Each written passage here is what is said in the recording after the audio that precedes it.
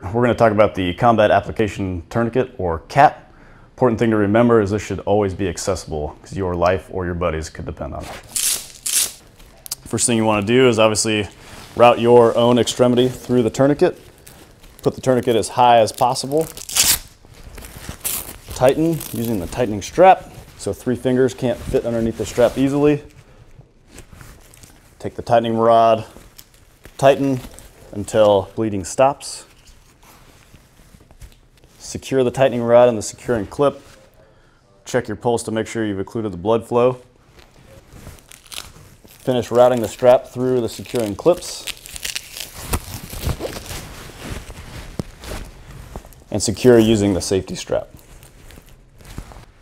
And don't forget to mark time of application.